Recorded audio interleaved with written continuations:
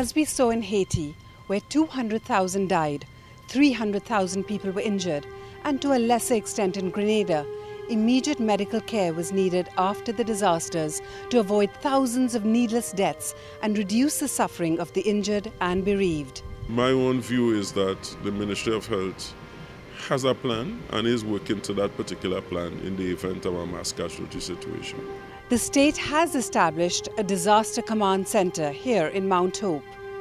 They have a mass casualty plan.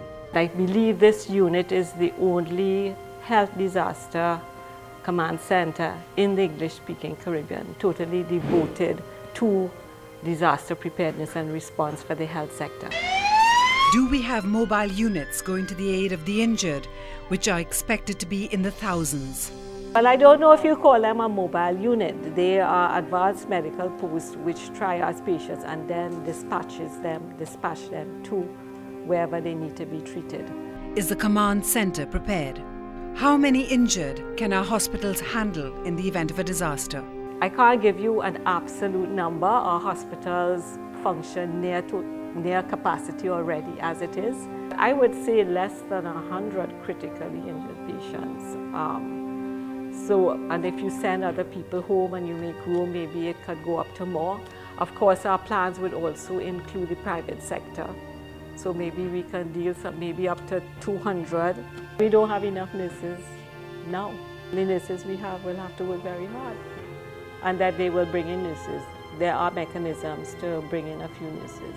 Maybe you'll get more doctors than nurses. Maybe doctors may have to do nursing. Will we end up in a situation like Haiti's, where the dead lay unidentified on the streets for days and were eventually buried in mass graves? How many dead bodies can Trinidad and Tobago cope with?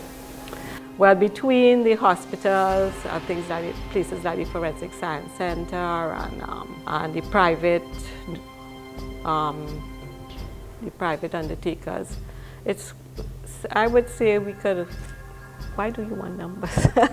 I would say it's maybe about 200 and so. It's not many. Can our population feel secure in the knowledge that the state is prepared for a disaster? You would have to ask your engineers, how will your building stand up? How will our building stand up? I don't know. He said 30,000 people will die or need or need care. I don't think the medical fraternity could deal with 30,000 critically injured people at one time. In a disaster situation, people do die, unfortunately. Based on my investigations, our health services are simply not prepared to deal with any large scale disasters. So, what do we do? The only way out of utter devastation is for each of us to take responsibility for our own lives plan and prepare. We focus on what you can do to be prepared for a Haiti or a Grenada. I'm Ira Mathur with a special report for CNC3 News.